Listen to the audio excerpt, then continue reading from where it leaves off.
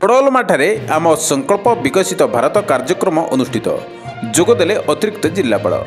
ଆଜି ନବରଙ୍ଗପୁର ଜିଲ୍ଲା ଅନ୍ତର୍ଗତ ବଡ଼ଲମା ଗ୍ରାମଠାରେ ବହୁ ଆଡ଼ମ୍ବରରେ ଆମ ସଂକଳ୍ପ ବିକଶିତ ଭାରତ ରଥକୁ ସୁସ୍ୱାଗତ କରିବା ସହ ଏକ କାର୍ଯ୍ୟକ୍ରମ ଅନୁଷ୍ଠିତ କରାଯାଇଥିଲା। ଯାହାକି ଭାରତ ସରକାରଙ୍କ ଦ୍ୱାରା ଏହା ଏକ ଉତ୍ତମ ପଦକ୍ଷେପ। ସରକାରଙ୍କର ପ୍ରତ୍ୟେକ ଯୋଜନା ଲୋକଙ୍କ ପାଖରେ ପହଞ୍ଚିବାର ଏହା ଏକ ଉଦ୍ୟମ। ଏହି କାର୍ଯ୍ୟକ୍ରମରେ ସମସ୍ତେ କିପରି ଆତ୍ମନିର୍ଭରଶୀଳ ହେବା ସହ ଭାରତକୁ ବିକଶିତ ରାଷ୍ଟ୍ର କରିବା ପାଇଁ ସହାୟକ ହୋଇପାରିବ ସେ ନେଇ ଆଲୋଚନା କରାଯାଇଥିଲା।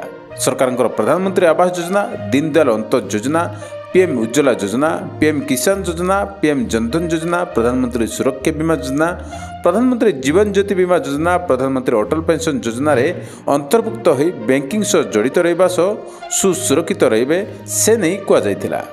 ଏବଂ ସରକାରଙ୍କର ଚିକିତ୍ସା ପଦ୍ଧତି ଏବଂ ସହାୟତା ଉପରେ ଆଲୋଚନା କରାଯାଇଥିଲା। ସେଠାକାର ସ୍କୁଲ ଛାତ୍ରଛାତ୍ରୀଙ୍କ ଦ୍ୱାରା ସୁନ୍ଦର ନୃତ୍ୟ ମାଧ୍ୟମରେ ସଚେତନର ବାର୍ତ୍ତା ପ୍ରଦାନ କରାଯାଇଥିଲା।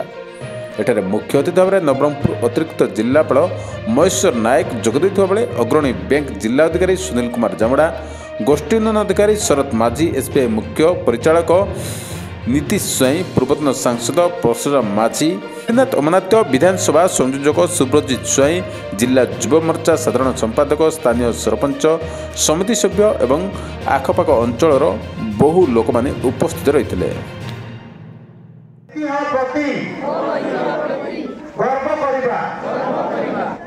ଭାରତର ଏକତାକୁ ଏକତାକୁ ଓ ଦେଶର ସମ୍ମାନ କରିବା ଦେଶର ନାଗରିକ ହିସାବରେ